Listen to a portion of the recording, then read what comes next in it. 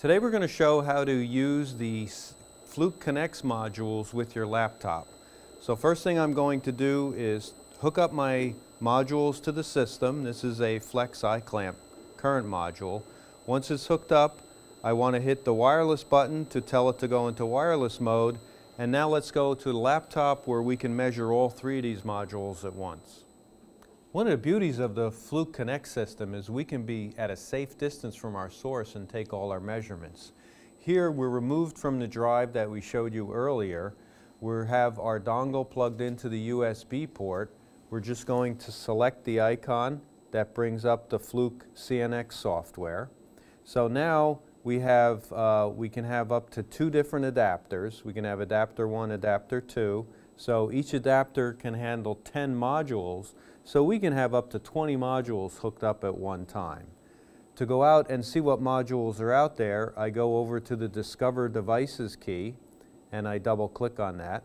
And what it's doing now is it's going out, it's saying, okay, I have adapter 1. I'm now seeing what modules are on that adapter and it'll give us a list of modules that it finds out here. It's discovering the devices, it's now found, it shows me an indication, a symbol of what type of module. So here we have an AC voltage, an AC current module, an AC voltage module, and a flex AC current module. The device ID is number of the volt of the current is number one, voltage number two, iFlex number three, and here's the device name, and that is connected. How do we download? And we do live view. So by going over here and selecting live view and then clicking on it, I can have a live view of all the different modules that are hooked up in my system.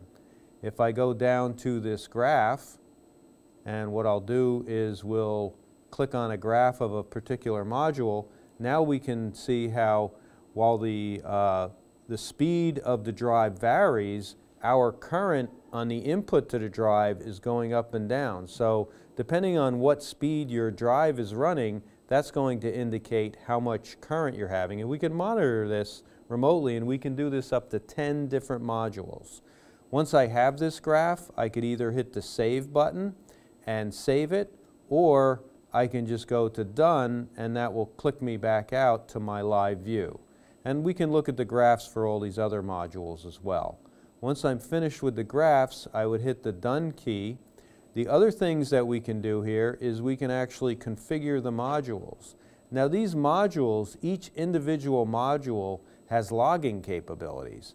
So we can name the module. We might want to call it phase A, phase B, phase C.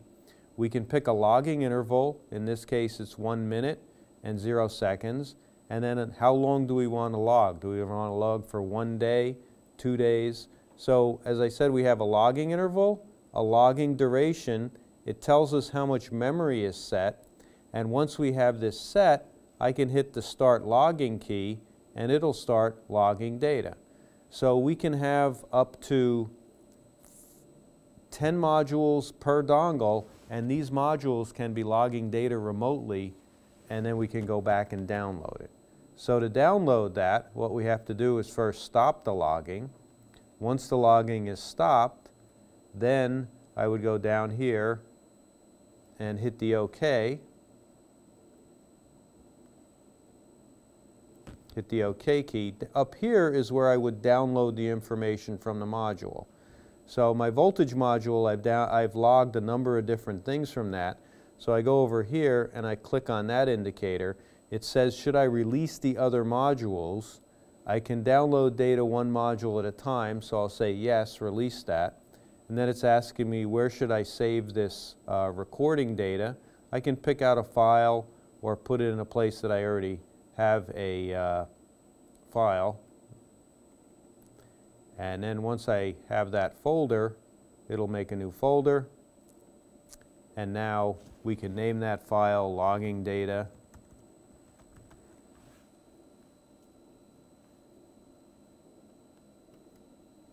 and now it's downloading the information from the module into that file. Each module can hold up to 65,000 points. The batteries last about two weeks, so you can put them inside a cabinet and conceivably walk by the cabinet once a day or once a week with your laptop without having to open the cabinet and expose you to any electrical risk. You can download the data, walk away, come back the next day, download data again. So right now we're downloading quite a bit of data. I have different data sets in there.